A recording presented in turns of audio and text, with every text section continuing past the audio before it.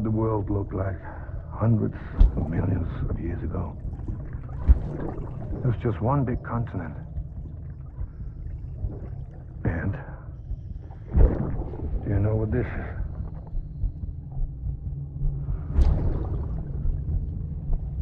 The moon. I'll show you the real thing soon. I promise.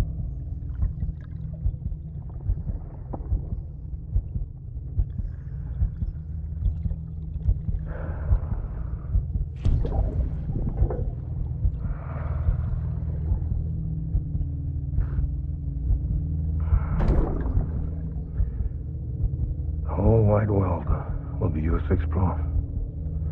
You'll be able to go wherever you want.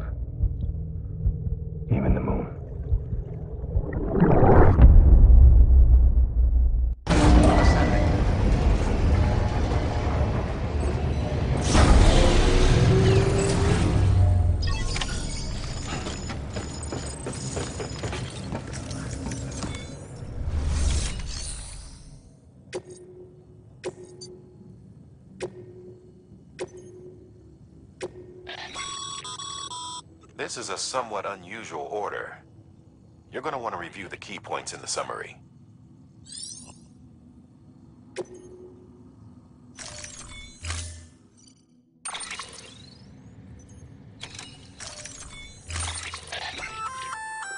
That's a breathable container, remember? For its passengers' sake, don't immerse it in water.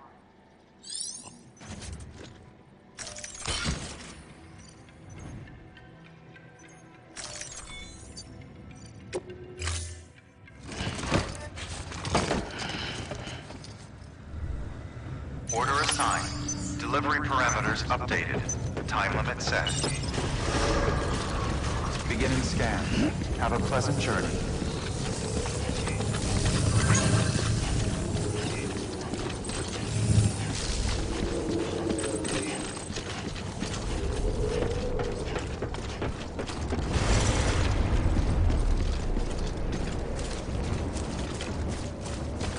Weapons restrictions lifted.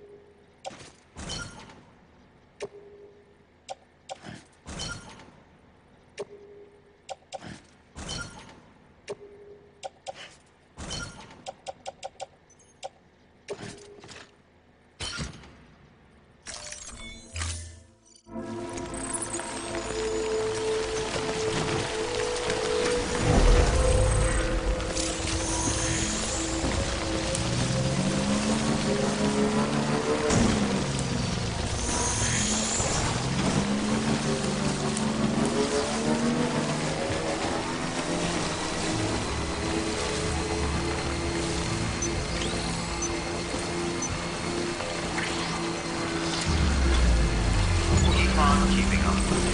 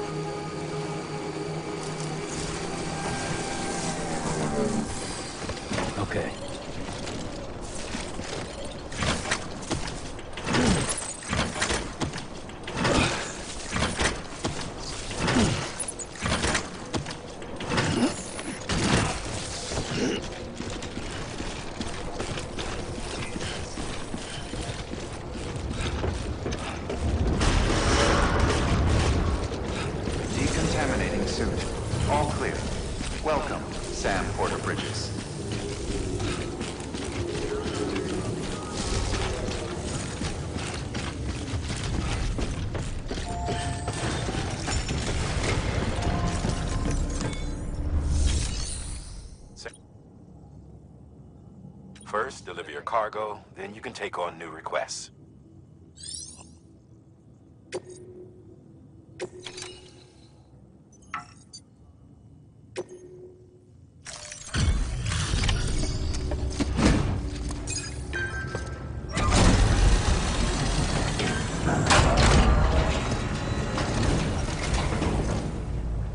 Welcome back, Sam Bridges. Always a pleasure. Uh, thanks for the delivery. Well, Sam Bridges does it again. Crypto bio should be fine. Much obliged. Hey, I got something for you.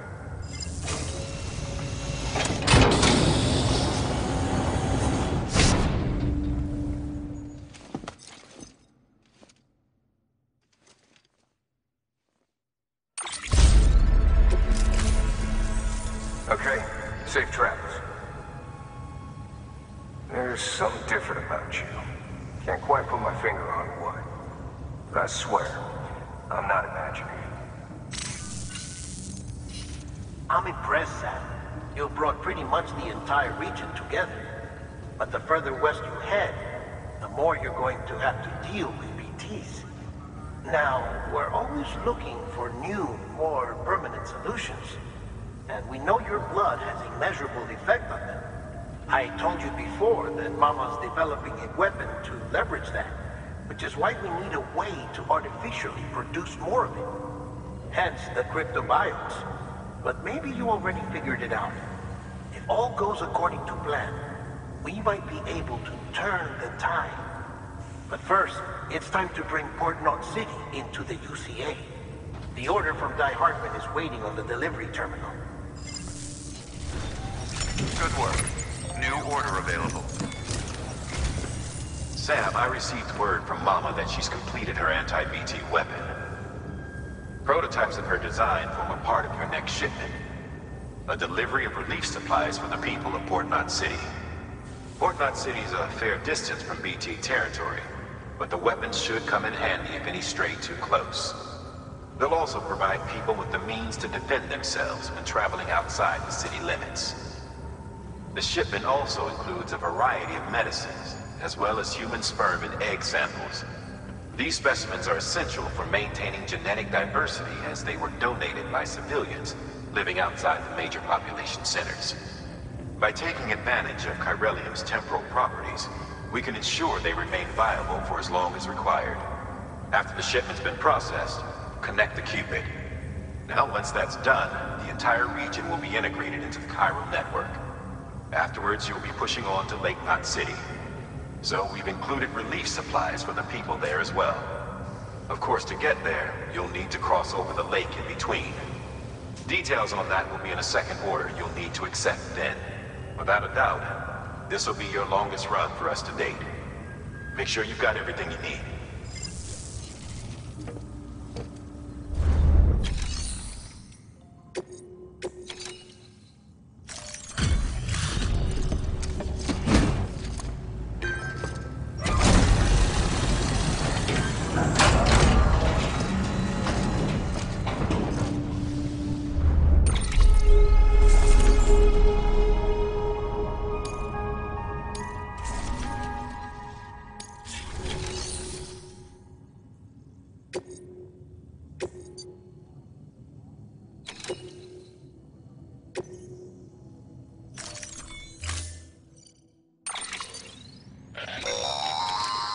That's a transfusion bag containing blood drawn from you. While equipped, it'll gradually replenish yours.